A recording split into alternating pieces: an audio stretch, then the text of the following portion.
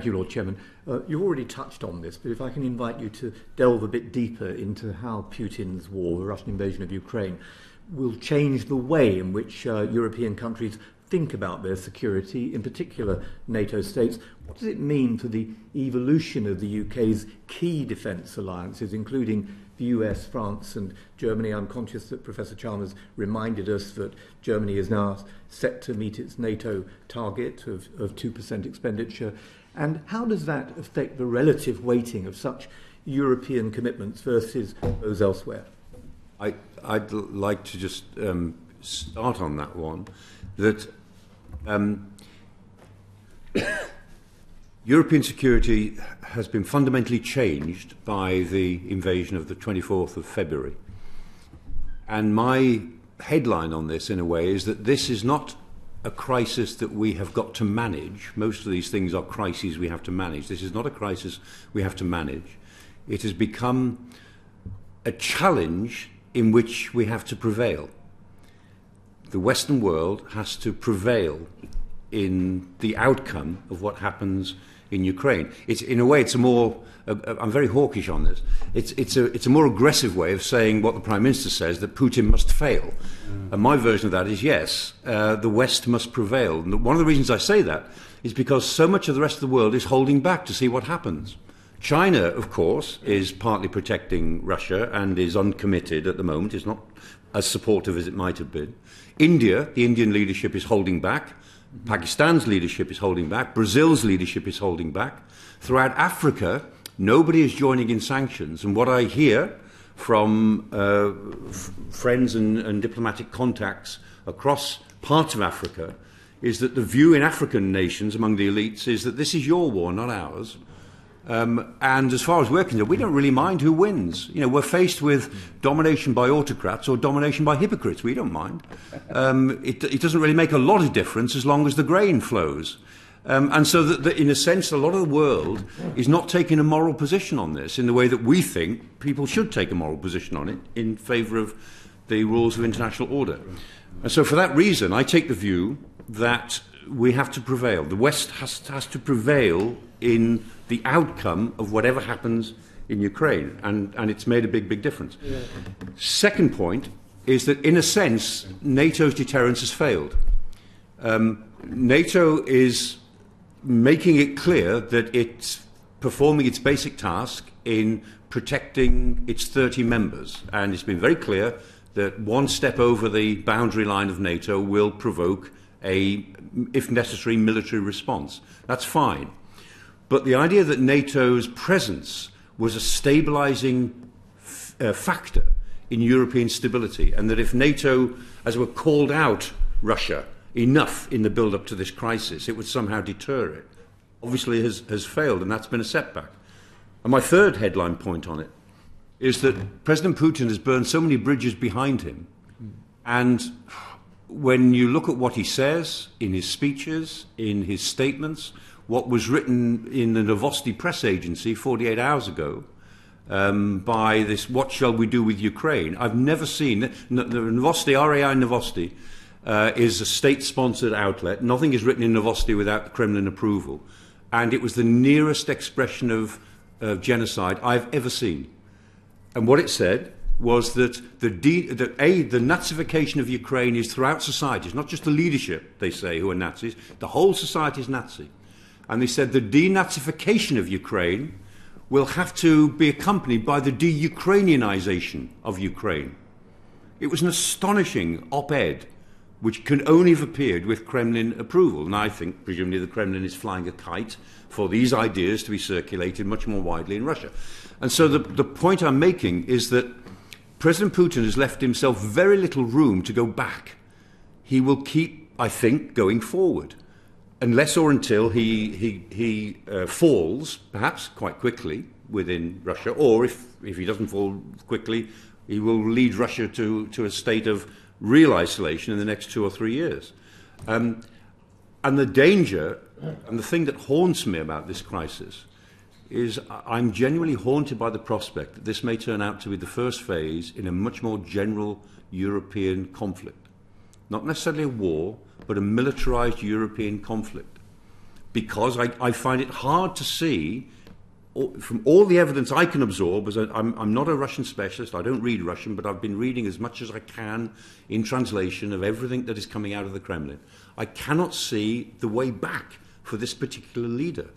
And he, you know, he's blaming now his military and his security services for failing to achieve what was an impossible aim, even Plan A, to take over the state within 72 hours and finish it off with mopping up operations by the 8th of March was clearly impossible, clearly unrealistic, a major, major strategic blunder. And in the best Hitlerian tradition, I fear that President Putin will try to retrieve one major strategic blunder by making another one somewhere else. Because that throws everything up in the air, and as the cars land, then the autocratic leader thinks they can deal themselves a better hand because they feel that they're more in control of the crisis than anyone else. And so, for all of those reasons, I'm speaking very generally now, but for all of those reasons, I think that, that NATO is facing the greatest challenge by far since its establishment in 1949. And I, I, I hope that as this war in Ukraine, which I suspect will run for the rest of this year and become some sort of stalemate into the late summer and autumn, I hope that the consensus among the Western allies does not get diluted um, as this thing goes, goes on. I fear it might, and I think the time for real leadership certainly by the United States, which is it's, it's in the lead, but it's not leading at the moment. It's in the front of us, but it's not offering as, as much leadership as, as required. And I think there is a role here, a bigger role. The, I think Britain's played a pretty honourable role in this crisis so far, other than on the refugees issue. But in other, other respects, I think Britain's done very well and will need to do better. And so we'll need to, have to, we'll need to, be, to be better and lucky in the months to come. I'm sorry, that's all, that's all very general and apocalyptic, but honestly, I'm, I'm sharing with you um, an instinct and a set of analyses that I've been haunted by for the last month. Well, on this, I'm, uh, I'm afraid, just as pessimistic uh, as Mike. I think this is a very dangerous uh, moment uh, for European security and our relations with Russia. There is no going back to where we were uh, before the invasion took place, uh, and the fact that so many people uh, even uh, people, senior officials I talked to here, but certainly some of our allies, despite all the evidence, thought he can't possibly uh, do this, uh, has made us all think, I think, uh, ref- reflect on what exactly is motivating. This is in part about uh, the Russia's attitude towards the NATO, but most of all, this war is about Russia's attitude towards Ukraine. The, the, the, articles to which Mike referred very much uh, about Ukraine, a denial of Ukrainian nationhood, we, uh, and indeed uh, this narrative that Ukraine has been Nazified, where in fact it's Russian that is becoming Nazified. So it's a, um, it is about Ukraine, uh, first of all, and second of all, I think we we must, uh, and you know, if we are to be true to our principles, we must accept uh, Ukrainian agency. Ukraine is key. Ukraine has to make the really difficult trade-offs as we go forward in terms of if, if, there is ever to be some sort of deal or ceasefire, which I think is a long way away, and what they want to achieve. Mm. And actually, the prospects of Ukraine getting most of what it wants in terms of territory a lot greater than they were even a couple of weeks ago. I mean, the, the hmm. rout of Russian forces in the north is quite incredible. Uh, and there's a there's a you know, there's a, a, debate among out there amongst uh, military experts about the extent to which Russia really has large reserves that can call upon in the relevant future. It's, it's, it, there is a possibility Ukraine will be able to push back uh, all the Russian advances in February and maybe even more.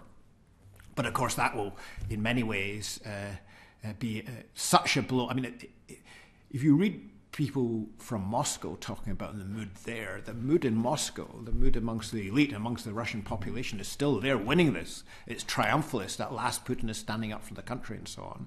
There is no sense of, of credible opposition within Russia. There are, of course, people who are opposing, but they're not politically relevant yet. Uh, so that is a that is an environment in which Russia can behave in ways which we really can't predict. So alongside, uh, absolutely, I agree with Mike. Uh, it's very important to us for us to do anything we can to ensure Putin is seen to lose this. Uh, it's also important that we do everything we can to avoid escalation to something much wider because uh, that would be very costly for, for all the countries of Europe. And there, you know, there's, there's, I think, a bigger risk of escalation to wider conflict uh, between the major powers than there has been since 1962. I think in the context of Bucha, Mariupol, and the other things, the war crimes that we've been seeing coming out of Ukraine over these last few days, what you've just said to us is, for me anyway, one of the most important and chilling appraisals I've ever heard here in 40 years in front of any select committee. So thank you. For Two weeks ago, I was in the Baltic states and I met the uh, Lithuanian, a Lithuanian defense minister And they raised with me particularly the need to increase the size of our presence in Estonia, where we take the lead. And they said we needed to increase from a battalion to a brigade, and they asked about the possibility of an Israeli style dome being provided over Lithuania and elsewhere to stop the kind of depredations that we have seen in Ukraine. We have Article 5 obligations to the Baltic states. Can you just give us a response on what you would have said to. Very, yeah, very, very clear. In, I mean, we have tripwire forces in the three Baltic states, which are reassurance, and they've done their job and they do it pretty well. They could not begin to defend the Baltic states against a, an attack. The Baltic states could easily be cut off by land through the Suwalki corridor, and then they could only be supplied through the Baltic Sea itself, which would be a very dangerous process, very expensive and very dangerous. The fact is that unless we defend the Baltics early, they would have to be liberated quite late. And they certainly want to be defended more than they want to be liberated. And it may well be that as this crisis develops, because of the, the sheer ge- geographical difficulty of defending the Baltics in the way one would defend Germany um, or any other, or even Romania or Bulgaria for that matter, um, it may be that there would be a demand real defence forces rather than tripwire forces into the Baltics, with the, of course, with the full agreement of those states, but I'm certain that you would get it, um, and actually make good on the the uh, requirement, the Article 5 guarantee to the Baltics. Because to be honest, if, th if that Article 5 guarantee were now challenged, really challenged in the Baltics, there isn't much we could do about it with tripwire force. If the, if the wire was tripped, not much would follow without us having to fight back into the Baltics, we, the NATO powers, fight and liberate the Baltics, which, as I say, is exactly what they don't want. Just add very briefly, I think Sweden is very important in this regard, and part of the Swedish uh, offer to NATO has to be a more credible role in reinforcement, because however many forces you have there on a static, permanent basis, you will need to reinforce them rapidly in a crisis. And the other thing I would say is having a permanent American presence in the Baltic states will be very important because that is the real American military power, is what the, uh, the Russia really fears. Thank you very much.